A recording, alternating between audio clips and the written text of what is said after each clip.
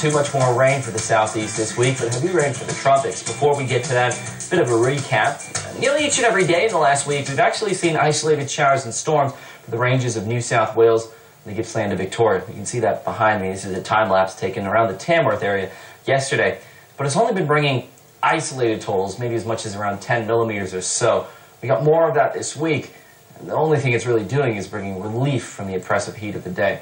You can see those flashes of showers and storms on the ranges nearly each and every afternoon there. We have a band of rain moving over the southeast today, getting heavier tomorrow. Not too much, generally less than a millimeter or two for it. And then some heavier rain over parts of the pastorals of the Eyre Peninsula this weekend, dissipating the thundery showers by the time we get to Monday.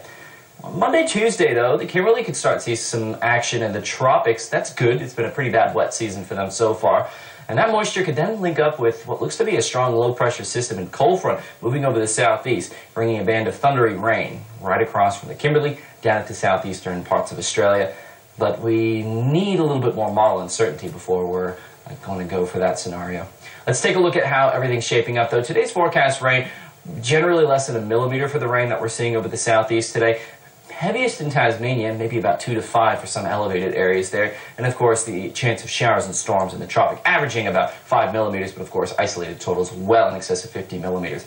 On Friday, a band of rain continuing to move over the southeast. That'll help bring some cooling. But as you can see here, the average totals are less than a millimeter or so, so it's not really going to be doing much. Generally, just settling the dust for some areas. On Saturday, it dries up. But showers and storms are likely on the ranges, particularly southeast parts of New South Wales, and even a risk around the Bega area. We could get some severe storms there on Saturday and Sunday. Also, a band of heavier rain moving throughout parts of the Eyre Peninsula. Even this model not picking much more than one to five millimeters out of that one we move to Monday, that's when the tropics start becoming a little bit more active, particularly around the Kimberley region.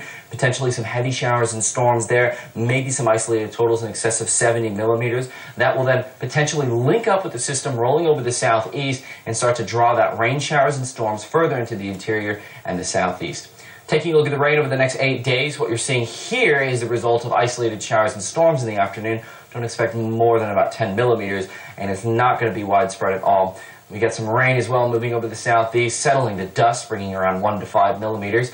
It's not that much at all. In some places, they'll miss out entirely. It'll just be cloudy. The heaviest rain this week will be in the tropics, of course, in the Kimberley region, potentially looking to get some good rainfall from Monday onwards.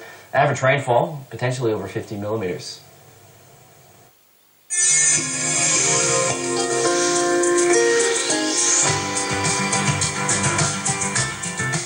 Weekend is not too far away, so let's take a look at the forecast. Now, in terms of rainfall, we are expecting to see further showers and storms across the northern tropics of the country. Also, a few showers likely in the southeast and for parts of South Australia. In terms of temperatures, we will see a bit of a reprieve from the heat wave moving in Saturday into Sunday across parts of New South Wales and the southeast. But for Western Australia, the heat will be dragging down to the southwest as we see temperatures climbing. For Perth, 37 degrees the forecast for Saturday. Adelaide, a maximum of 30 degrees. 28 degrees the forecast in Sydney. Now on Sunday, Perth heating up to a top of 40 degrees. Sydney, a, a fairly mild 26 degrees and warming up once again for you in Adelaide with a top of 32 degrees. Dry and sunny in Hobart with a maximum temperature of 27.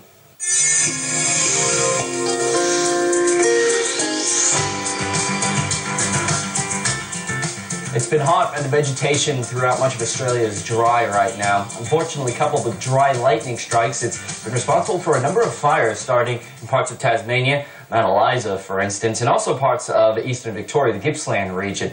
A number of dry lightning storms leading to what looks like a number of fires over the course of yesterday. The risk of that actually continues because the heat is set to continue over the next few days and build again next week. Looking at the forecast temperature today, widespread 40 degree heat, northern Victoria, western New South Wales, even pockets of the east, 45 degree heat there. And also some gusty breezes in the afternoon over the south. That's led to uh, severe fire danger right from northern Victoria, the Mallee, the Wimmera, stretching up to the Flinders, mid-north, and Mount Lofty ranges, and even the Eyre Peninsula, with New South Wales here seeing also elevated fire danger. Thursday seeing very high fire danger, very high fire danger as well in Tasmania.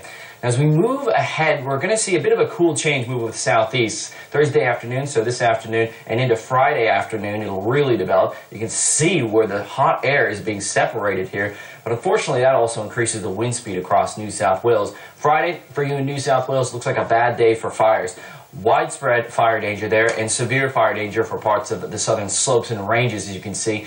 Remember, in severe fire danger, when fires start, they can become unpredictable and move quickly. You need to know what you're going to be doing in the event of a bushfire near you, even if you live in places like the greater Hunter, Sydney, and Illawarra Shoalhaven regions. Forecast temperature into Saturday shows that we'll see some cooling for parts of New South Wales, dropping the temperature slightly, but still remaining fairly hot in other areas.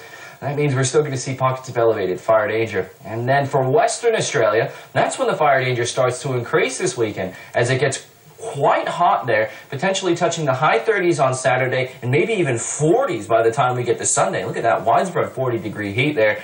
And so the fire danger shifts from the east, moving to the west this weekend with widespread, very high fire danger, pockets of severe fire danger in the Wheat Belt region.